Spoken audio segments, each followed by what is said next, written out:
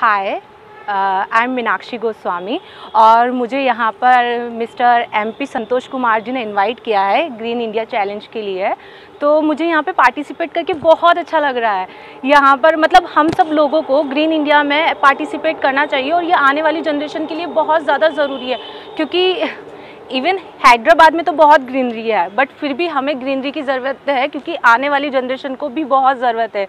तो मुझे पार्टिसिपेट करके अच्छा लगा और मैं तीन लोगों को नॉमिनेट कर रही हूँ, मिस्टर नरेंद्र नाथ जो मिस इंडिया के वो है डायरेक्टर रहे हैं, मधु कालीपू, जो रंगमारतांडा मूवी के डायरेक्ट प्रोड्यूसर हैं, और थर्ड नेम अली रज़ा, जो बिग बॉस में उन्होंने पार्टिसिपेट किया था।